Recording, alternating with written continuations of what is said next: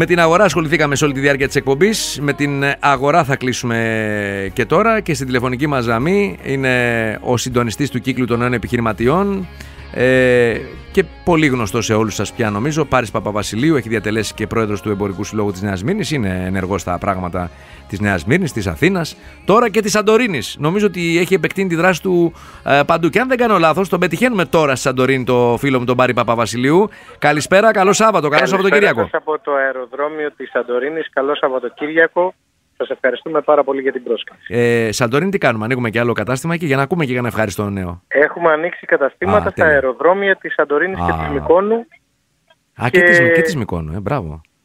Μπράβο. Έχουμε μπει πολύ ενεργά στο travel ε, retail. Να πω κάτι. Τώρα, αυτό, επειδή μιλούσαμε πριν από λίγο με τον Βαγγέλη Αμπελιώτη για την κρίση, για την συρρήκνωση των επιχειρήσεων, για την επιβράδυνση, όπως διαβάζω στο Οικονομία, ε, την επιβράδυνση ε, της ε, ανάπτυξης στην Ευρωζώνη, έτσι ε, επιβράδυνση στη δραστηριότητα των επιχειρήσεων μάλιστα. Αυτό εννοώ. Ε, ε, πώς γίνεται εσείς ανάπτυξη; Μπράβο, συγχαρητήρια.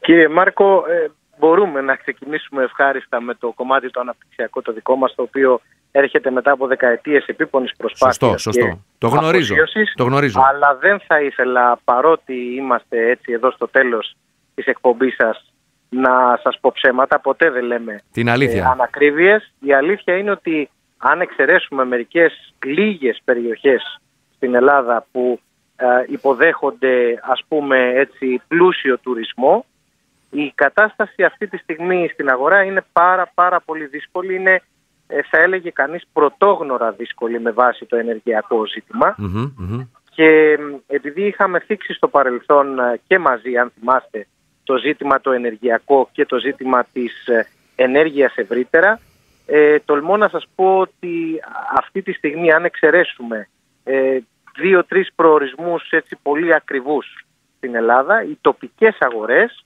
ε, έχουν πάρα πολύ μεγάλο πρόβλημα ήδη και βρισκόμαστε στις, 20, ε, στις 25 Ιουνίου ε, μιας χρονιάς που έχουμε πάρα πολύ τουρισμό.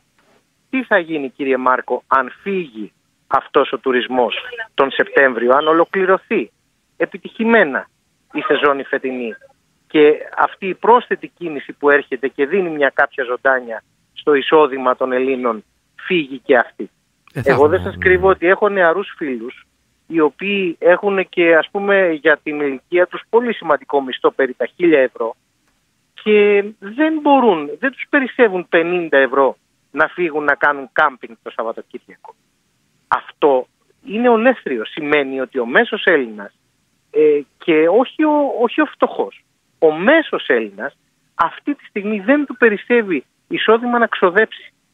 Άρα η κατανάλωση υποφέρει, η λιανική υποφέρει. Αυτή είναι η πραγματικότητα και αυτή είναι η σωστή διατύπωση και αυτό είναι δυστυχώς και το μήνυμα που πρέπει να δώσουμε mm-hmm, προς τους ηθήνοντες διότι ξέρετε είχαμε χωρίς να είμαστε αρμόδιοι και χωρίς να είμαστε υπεύθυνοι είχαμε θίξει το ενεργειακό ζήτημα σε ποια βάση. Είχαμε πει ότι παρά είναι ακριβή η ενέργεια. Ναι. Εδώ τώρα μαθαίνουμε ότι το κράτος μας πληρώνει την ακριβότερη τιμή από όλες τις πηγές ενέργειας, δηλαδή είτε από το πετρέλαιο, είτε από το φυσικό αέριο, είτε από τις ΑΠΕ, είτε από τα υδροηλεκτρικά εργοστάσια. Δεν πάει να βγάλει ένα μουαγέν, δεν βγάζει το μέσο όρο. Θέτει η, ο, ε, η κεντρική διοίκηση ως επιλογή την ακριβότερη τιμή από τις τέσσερις και με βάση αυτήν πλουτίζουν οι πάροχοι, οι ΔΕΗ και φεύγει το εισόδημα από το μέσο καταναλωτή, από την αγορά αν θέλετε, εν τέλει, γιατί αυτό αφορά εσάς και εμένα, Σωστά. Έτσι, και πηγαίνει σε 10 τσέπες. Πάντως ε, η κατάργηση της ρήτρας αναπροσαρμογής από 1η Ιουλίου θα επιφέρει τις αναγκαίες μειώσεις έως και 80 και μάλιστα μας έλεγε μπορεί να φτάσει ο κύριος Αμπελιώτη, μας έλεγε μπορεί και το 90%. Πράγμα το οποίο πρέπει να έχει. Πού είναι αυτά τα λεφτά 6 μήνες, κύριε Μάρκο; Με, το, για το, το, γιατί γίνεται τώρα, το, ναι, τώρα δεν ξέρω. Μπορεί να μην ήταν εύκολο, μπορεί να μην υπήρχε. Μπορείτε όμως. Γιατί έρχεται το κράτος να πληρώσει στο ενδιάμεσο τη διαφορά αντί να ζητηθεί από, από εκείνους που εισπράττουν; Α, εννοείται από τους παρόχους. Δεν από την Ευρώπη, από εκείνους που εισπράττουν. Για ποιο λόγο συζητάμε για την ακριβότερη Τώρα αυτό το θέμα είναι μεγάλη κουβέντα. Σημασία έχει, έχετε δίκιο. Τιμή, έχει καθυστερήσει δραματικά. Έχετε δίκιο, έχετε απόλυτο δίκιο. Και ξαναλέω, εμείς θεωρητικά είμαστε αρμόδιοι. Αλλά όταν έρθει η ώρα να στεγνώσει η αγορά, και είναι 25 Ιουνίου, ε, πρέπει να βρούμε πού πήγαν Ε, τα ε, λεφτά. κύριε έχετε, Μάρκο. έχετε δίκιο κύριε Παπαβασιλείου με την έννοια ότι τώρα έχει, εσείς δε- βλέπετε καλύτερα από μένα όντας μέσα στην αγορά πε- πηγαίνοντας από κατάστημα σε κατάστημα Εγώ είμαι χαρούμενος πηγαίνοντας από πολύ. περιοχή σε περιοχή βλέποντας, βλέπ, εσείς βλέπετε καλύτερα από τον καθένα κάνετε καλύτερο ρεπορτάζ από εμένα να το πω Κύριε Μάρκο, όσον εγώ αφορά στο αν επειδή έχετε γνώση έχω αγορά ή όχι 700 πελάτες όλη την Ε, ναι, Ελλάδα ε, οπτικούς ε, βέβαια. και με τιμούν και τους τιμώ με Εννοείται. την εμπιστοσύνη μας Σωστά Ε, έχω να σας διαβεβαιώσω ότι πέραν του οπτικού κλάδου, ο οποίος ίσως και να υποφέρει λιγότερο λόγω του παραγιατρικού του χαρακτήρα, η λιανική αυτή τη στιγμή πανελλαδικά υποφέρει, ξέρετε πού, στην πιο οικονομική εκδοχή της. Δηλαδή, όταν ο άλλος δεν έχει να πάρει σουβλάκι, όταν έχει μειωθεί η κατανάλωση στο σουβλάκι, Μμμ. όταν έχουν μειωθεί οι καταναλώσεις στα φτηνά, στα, στα οικονομικά είδη και τρώνε ένα 10, ένα 15% πτώση αυτά τα είδη που αφορούν τον κόσμο, τον πιο οικονομικά ασθενή, αντιλαμβάνεστε τι γίνεται στη μεσαία κατηγορία. Αντιλαμβάνεστε τι έχει να γίνει το Σεπτέμβρη και τον Οκτώβρη μόλις φύγουν οι τουρίστες και μόλις αυτό, αυτή, αυτό το ένδυμα ας πούμε αυτή τη στιγμή που όλους μας κάπως μας δίνει φύγει και μείνουμε χωρίς καν φιλοσικής Για να κοινή δούμε, για απέναντι να στο- δούμε. Με- Μέχρι το απέναντι Σεπτέμβριο. στο πρόβλημα. Έχουμε πολύ δρόμο μπροστά μας και έχουμε και προεκλογικό δρόμο. Και όπως έλεγε ο κύριος Αμπελιώτης νωρίτερα, ενδεχομένως να έχουμε και δώρα λόγω της προεκλογικής περίοδου. Οπότε μην, μην λέμε από τώρα, μην προεξοφλούμε το αρνητικό, γιατί μπορεί να έρθουν πολλά θετικά. Και να Κύριε έρθει- Μάρκο, είναι απολύτως Μην- βέβαιο Μην, ότι το, είναι- μην το κάψουμε από τώρα αυτό. Δηλαδή, μην το, μην, μην- εμένα μου αρέσει και στους φίλους μου το λέω.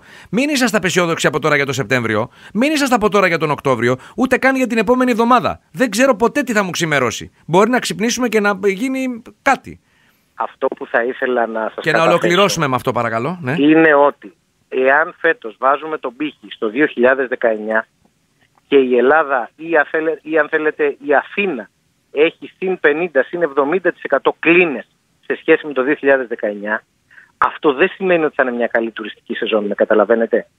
Αν με, με 60-70% παραπάνω κρεβάτια έρθουν οι ίδιοι επισκέπτες στην Αθήνα με το 19 δεν θα έχουμε μια πετυχημένη χρονιά.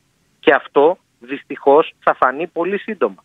Άρα, εγώ θέλω να σας ευχαριστήσω για την πρόσκληση. Θέλω να Αλίμονο, σας πω αλίμονο, ότι τα λέτε- επί προσωπικού είμαι ευτυχής, διότι έχω καταστήματα σε πολύ τουριστικές περιοχές και σε περιοχές με πολύ έντονο εμπορικό ενδιαφέρον, αλλά ο ρόλος μου εδώ δεν είναι να βγω και να Σωστά, επιφέρω σωστά. Και, και, την προσωπική μου επιτυχία. Όχι, ο ρόλος μου βέβαια. είναι να σας μεταφέρω την εικόνα της αγοράς. και τη μεταφέρατε με τον πλέον ε, εμφατικό είμαι και, πολύ ανάγλυφο ανήσυχος. τρόπο. Ήθελα, ήθελα να καταθέσω την ανησυχία μου και σας ευχαριστώ και πάλι. για την Εμείς, εμείς καλό ταξίδι, καλή επιστροφή στην Αθήνα ε, και ε, ε, παρά το, με- με τη μεγάλη κόπωσή σας φαντάζομαι να πηγαίνετε ανά την Ελλάδα, σας ζηλεύω που είσαστε αυτή τη στιγμή στην πανέμορφη Σαντορίνη. Σας προσκαλώ να έρθετε μαζί μου στο επόμενο Αυτά είναι. μονοήμερο Α- ταξίδι. αποδέχομαι και μένει να βρούμε την κοινή ημερομηνία. Να είστε καλά κύριε Παπαβασιλείου. χαρά. Γεια χαρά. Καλή Γεια. συνέχεια. Καλό Γεια. Σαββατοκύριακο. Επίσης, γεια σας.